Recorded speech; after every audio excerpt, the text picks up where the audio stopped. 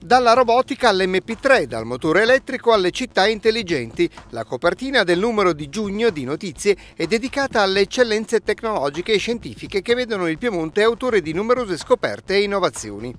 Ma il magazine della regione Piemonte celebra anche l'importante anniversario del Club Alpino Italiano che nacque proprio a Torino 150 anni fa, con un ampio servizio sul passato e sul presente del CAI, nonché sulle glorie dell'alpinismo piemontese.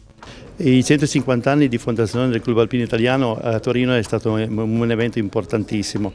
Eh, sicuramente già abbiamo fatto molti eh, eventi ma seguiranno poi altri eventi sulle, nelle sezioni perché con le 81 sezioni del, del Piemonte eh, si sono attivate per eh, continuare i festeggiamenti. Sarà poi il clou per la chiusura dei, eh, del festeggiamento dei 150 anni, sarà poi ad ottobre quando verrà messo poi una targa al, al Valentino dove è nato praticamente il club alpino italiano.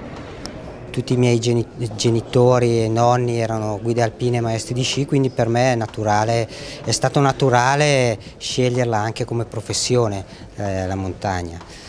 Eh, non so, esperienze in, montagna, in montagna le ho avute sia nella mia montagna che il Monte Rosa, le prime esperienze che poi ho portato avanti, sono andato in Himalaya, in Patagonia, e quindi ogni, ogni esperienza vale tanto per me. La montagna la vivo così a 360 gradi, eh, sia d'estate che d'inverno, con l'arrampicata su roccia, lo sci, il ghiaccio e tutta la mia vita insomma.